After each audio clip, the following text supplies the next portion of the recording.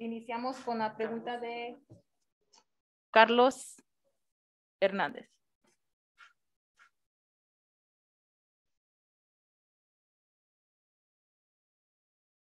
Un segundo.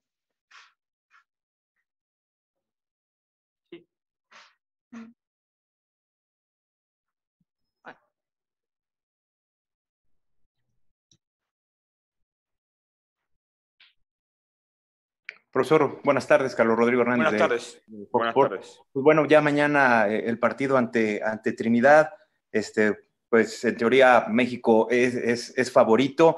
¿Usted cómo ve, cómo ve a la selección de cara ya a este duelo y sobre todo, como lo ha comentado usted, la exigencia de ganar eh, la Copa Oro? Bueno, eh, lo que siempre marca un poco el comienzo de, este, de una competencia oficial. Eh, eh, la preparación ha sido buena, eh, las ganas de empezar a competir este, se nota en cada entrenamiento, así que estamos ya listos como para enfrentar el primer partido de mañana y, ver si podemos este, solidificar con, rendimiento este, nuestra candidatura en los papeles. Ángel Jesús. Buenas tardes. Buenas tardes. La pregunta, la pregunta sería, ¿cuál es ya tiene la alineación para el partido de mañana? ¿Ya tiene algunos nombres para el partido de mañana?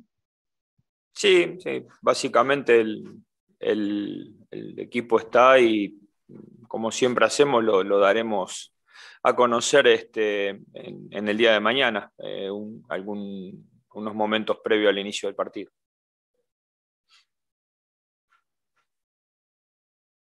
Jorge García. Hola, profe, ¿cómo está? Buenas tardes, Jorge Ivan para Capitán SMX. Eh, el día de hoy fue confirmada la baja de Alfonso Davids, jugador del Bayern Múnich de la selección de Canadá. ¿Cuál es su sentir al respecto?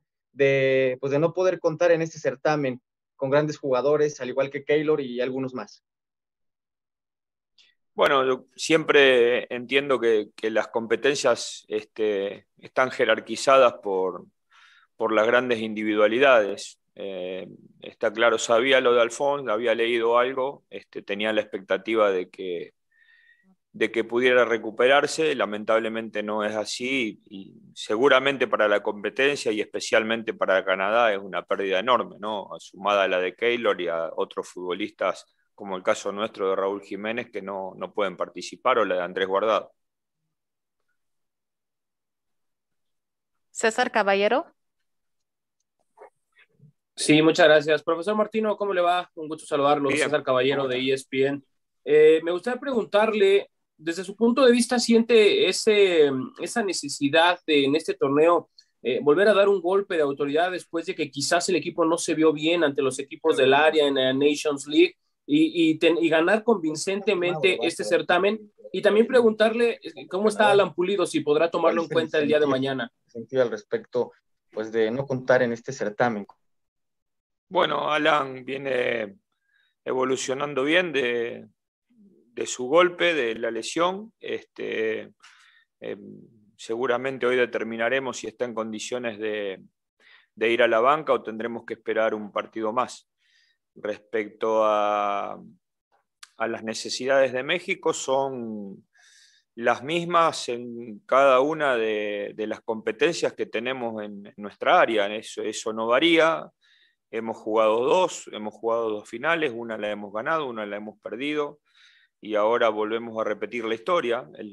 este, como dije antes, eh, lo mejor que le puede pasar al equipo es respaldar con buenos rendimientos el favoritismo y después la, contundencia o no que usted menciona, este, a veces es este, muy difícil de, de, analizar. Hay veces que este, la contundencia no se da en los resultados, pero sí se da en, en el, control del partido, así que lo que nosotros más esperamos es tener este, buenos rendimientos, no darles posibilidad a los rivales y, este, ser convincentes desde el juego. Ricardo Menéndez. Hola Gerardo, muy buenas tardes. Le saluda Ricardo Menéndez desde El Salvador. Me gustaría que me hiciera un análisis de, los tres rivales, si es tan amable, de Trinidad y Tobago, de la selección del Salvador. Y bueno, de, último momento, eh, Guatemala, que aparentemente se uniría al grupo A. Muy amable. Bueno, a ver, eh, en líneas generales este, nos toca una selección que, está, que va a disputar con nosotros un lugar por el próximo Mundial, este, otra que está, no sé si ya confirmada o próxima a confirmar y que hay que ver en qué condiciones están los futbolistas para retomar este, la competencia. Este, hay que mencionar que no hace muchos días dejaron de competir, pero de todas maneras no es lo mismo prepararse para, la Copa Oro que encontrarse con una clasificación el día antes de, tener que jugar. Y Trinidad y Tobago, que es una selección que tiene la, este, la tranquilidad de haber conseguido la, clasificación en esta misma semana.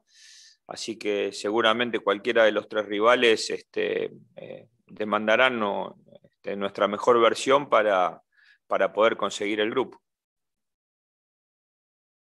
Claudio, Claudio Villalobos. Buenas tardes, Gerardo. Saludos cordiales desde Nashville. Nashville Noticias, Claudio Villalobos. Eh, la pregunta es esta, eh, Gerardo. Eh, la selección mexicana obviamente tiene nortes muy altos, obviamente, con usted, siempre los ha tenido. Un, un, torneo como este, de la Copa, la Copa de Oro, cuando se le presentan, entre comillas, rivales a modo, y ahora hasta Guatemala, un equipo que ni siquiera, que, que, que ha dejado de competir hace unos días, ¿Qué, clase de, de, retos representa para usted como técnico el mantener al equipo con una puesta a punto hacia las otras metas que ya tiene establecidas, como son, por, obviamente, la clasificación al Mundial y más allá? Bueno, a ver, primero este, tener en claro cuáles son los objetivos y seguramente, eh, como ya lo hemos mencionado en otras oportunidades, el momento más importante de este año será a partir de septiembre cuando empiecen las eliminatorias y, busquemos nuestro lugar para la Copa del Mundo. Ahora también es cierto que estas son competencias oficiales y que lo ponen a, México en un lugar de, favorito que también este, es algo este, muy difícil de llevar adelante en el sentido de que mentalmente hay que estar preparado, además de futbolísticamente, porque uno sabe que cualquier otro resultado que no sea ganar la competencia este, siempre implica un, este, cimbronazo para, la confianza y para todo este, lo que genera en, en el entorno de la selección.